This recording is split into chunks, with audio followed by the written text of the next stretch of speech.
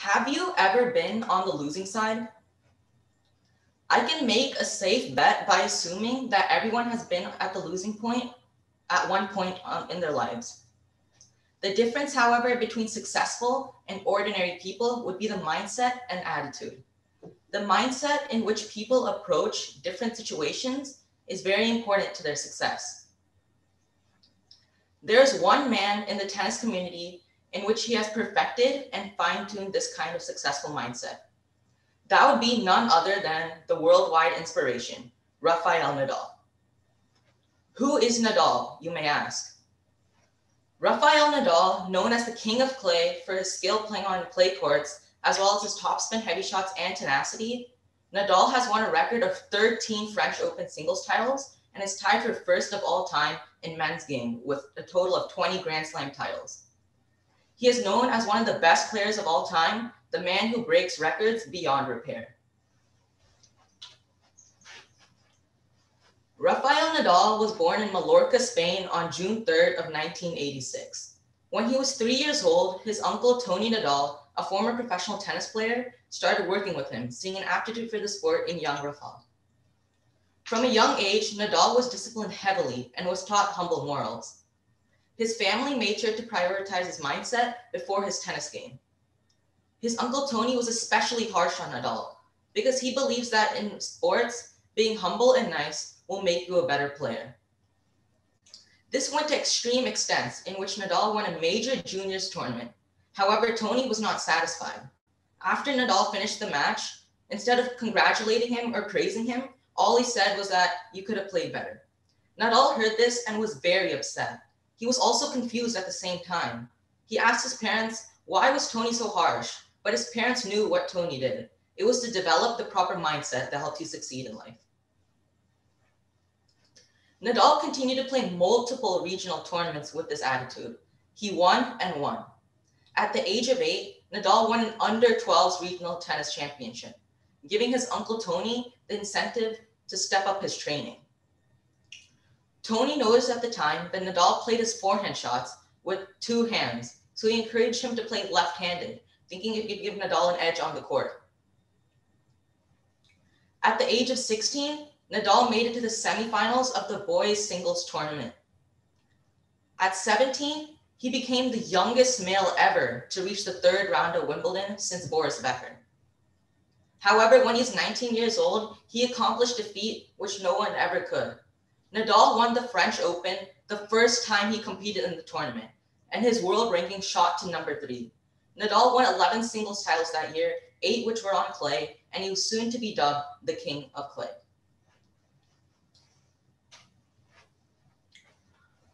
Although it may seem that Nadal's tennis career was easy, it was nowhere near easy. Nadal had many challenges throughout his career, career that could have easily pulled him down. He had a major foot injury that was so serious, it made a full halt to his tennis career. He traveled the world for medical advice and was unsuccessful everywhere.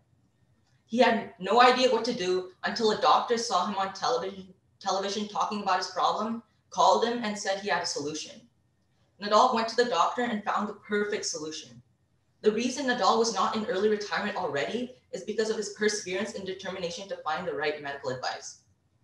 He handled this challenge and made sure to never give up.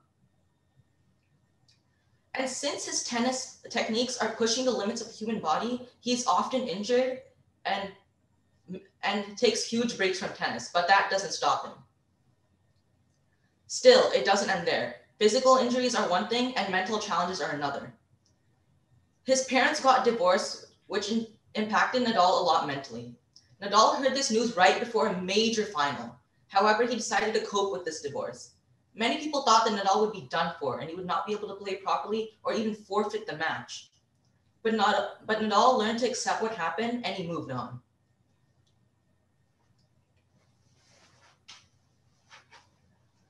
You heard me talking about this mindset for a long time now. There are three main qualities that make up this mindset and define how successful it is.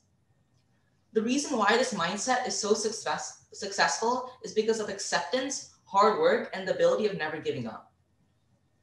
Nadal possesses all three of these qualities and, able, and is able to represent these qualities and use them for his success. The first major inspirational quality from Nadal would be acceptance. He has learned to accept any mistake, unforeseen accident, or even unfair situations. You might think that accepting things would, wouldn't do much for your success. However, accepting things is the first step to success. Before you can move on from a mistake or accident, you have to learn to accept it and move on.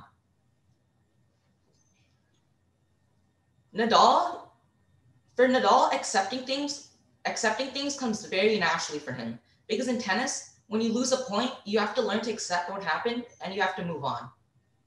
If you get stuck on that point, then you'll ultimately lose the match. However, if you learn to move on and try to prevent it the next time, you will play better and you'll have a higher chance of winning. However, acceptance doesn't just have to do with tennis. It can be in any type of situation, whether that be mental or physical. If you learn to get, if you get an injury, you have to learn to accept that you can't play for a couple days and you have to take rest. However, if you don't accept that, then you'll try playing and you'll get a bigger injury, which is why acceptance is very important. The second most inspirational quality in Nadal is his hard work. He is not as naturally talented as many other tennis players. However, he's reached the top by working hard and hard every single day until he made it.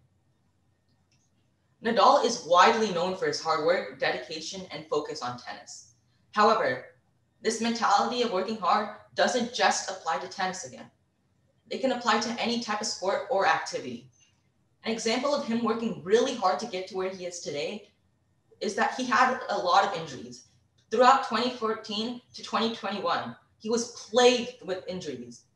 He had to work really hard for physical therapy, taking huge breaks, which stopped his streaks. He had to play through pain, and sometimes he even played major finals with the same pain. The third most inspirational quality, and probably one of his best qualities, would be the ability of never giving up. Giving up in the middle of a match is a very common thing to do, and it's very easy to do because most people give up in the match mentally when they start losing. However, Nadal, no matter how bad the situation for him, for him is, he always comes back and beats the opponent, which makes him inspirational and very unique. Compared to other players, Nadal is a one in a century player. Due to these three qualities, Nadal is an inspiration to all, using acceptance, hard work, and the ability of never giving up he's able to be successful on the court and everywhere else. With a mentality like this, he's able to inspire many people on the court and off the court, which makes him one of the most inspirational role models of all time. Something in your life that you've had to accept and sort of move on from? Sometimes, uh, to me, I play tennis a lot, almost every single day. And when you play something that involves winning or losing, you're ultimately going to lose sometimes, right? So in tennis, I learned to lo- accept a lot of matches. When I lose, I try to get better and prevent it from happening again. That's how I learned to accept uh, matches, and I'm able to accept other things. Like if I get a bad grade, I learn to accept the test score I got and learn from it. I learned from the mistakes I made, and I try to do better the next time. Right. I think that's a really important quality. One more question. You mentioned, um, you know, his uncle and the role that his uncle had in sort of pushing him towards success. Um, who in your life pushes you for pushes you towards success like that? In my life, mainly there's one person that pushes me towards success, and that would be my dad. He always pushes me, telling me I can do better, I can do better. And he always makes me stay humble and never be arrogant if I get a good grade, he, he's always like, make sure to keep up this and don't don't get too ahead of yourself. And that's why he always pushes me to do better. And he's a big part of my life. Excellent. Thank you.